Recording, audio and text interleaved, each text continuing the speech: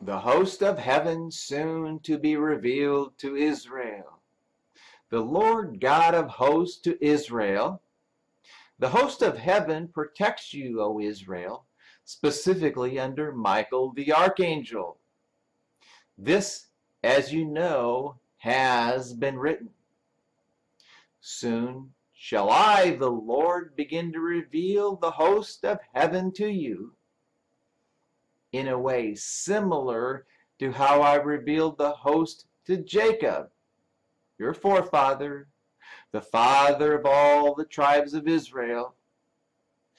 But I shall do so in a much greater way.